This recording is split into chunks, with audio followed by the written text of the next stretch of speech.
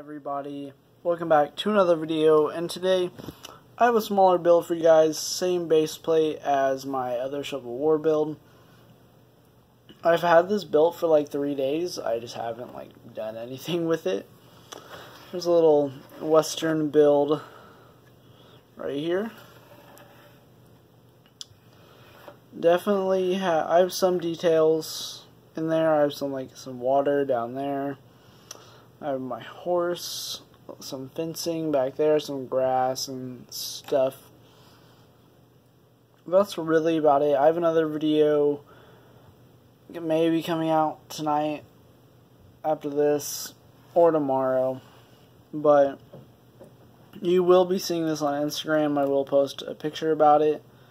So hopefully whoever follows me will see that.